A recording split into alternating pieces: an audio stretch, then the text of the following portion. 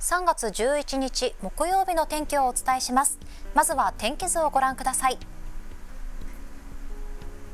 各地高気圧に覆われて穏やかな天気となるところが多くなりそうです。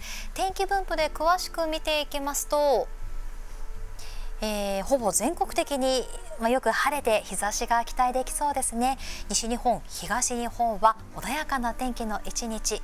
西日本は薄い雲が広がるタイミングもありますが大きな天気の崩れの心配ありません。北日本は北海道の日本海側だんだんと雲が広がりにわか雨にわか雪の可能性がありますが強まる心配はなく風もだんだん落ち着きそうです。各地で昼間は気温が上昇し春の陽気となりそうですが朝晩は冷え込みますので1日の気温の変化にお気をつけください。また雪の積もっているところでは融雪災害にお気をつけください。